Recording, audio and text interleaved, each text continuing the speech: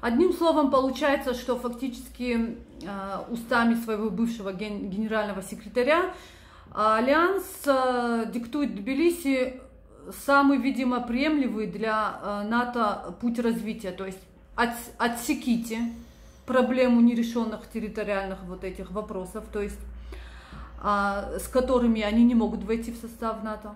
То есть признайте, ну так получается, да, что признайте независимость э, бывших автономии Абхазии и Южной Осетии, и тогда добро пожаловать в наш альянс.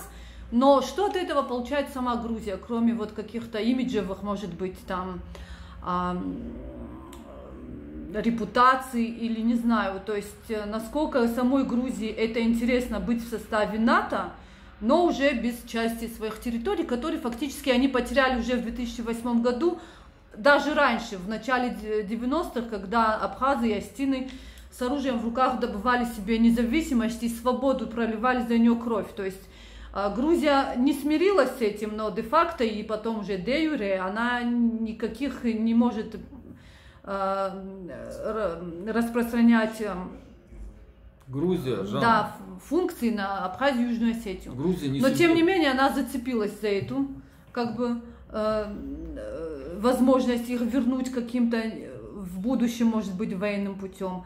А нет ли в этом такая какая-то хитрость? То есть мы вас сначала принимаем без Абхазии Южной Осетии, вы входите в состав блока, а потом мы уже вам помогаем действительно вернуть эти территории. Грузинское руководство президента недавно заявило, там, то есть, они никогда не забудут, там, да, как бы Южную Осетию, Абхазию не вернут в любом случае. И грузинская элита правящая понимает, что вернуть они могут в одном случае эти территории, в случае развала Российской Федерации. То есть в случае каких-то деструктивных процессов по развалу государства Россия, на что они в принципе и работают, то тогда в этом случае появится небольшой шанс вернуть эти территории.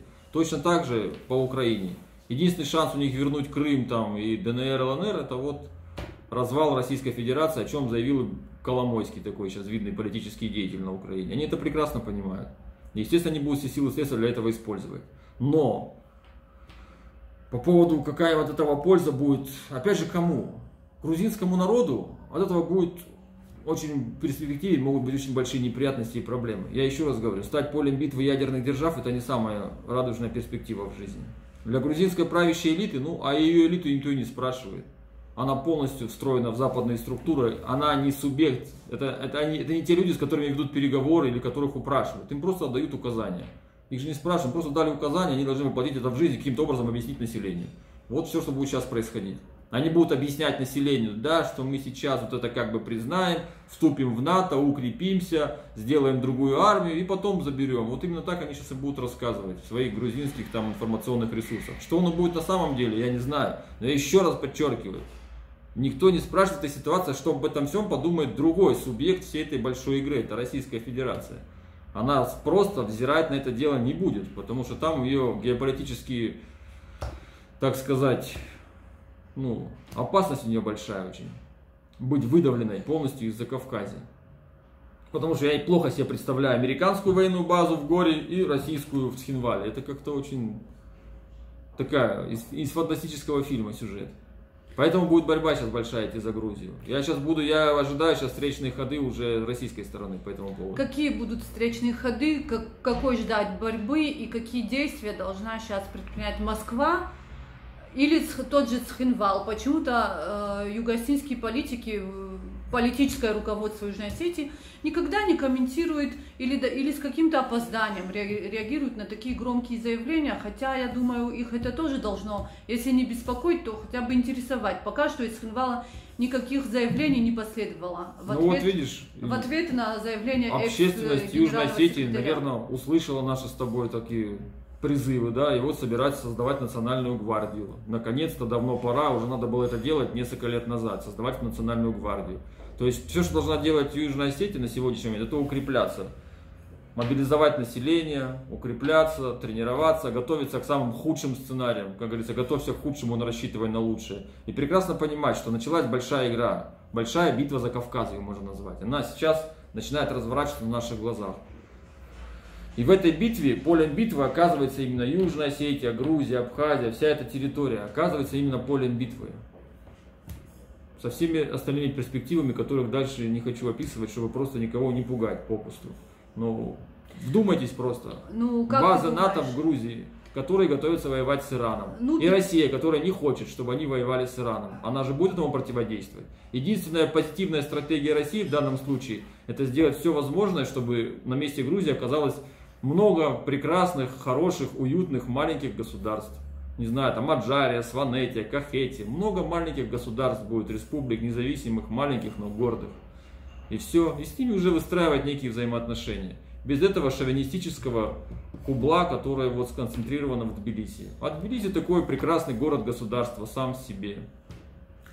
Если получится так сделать, то, конечно, никакому НАТО эти маленькие осколки интересны не будут.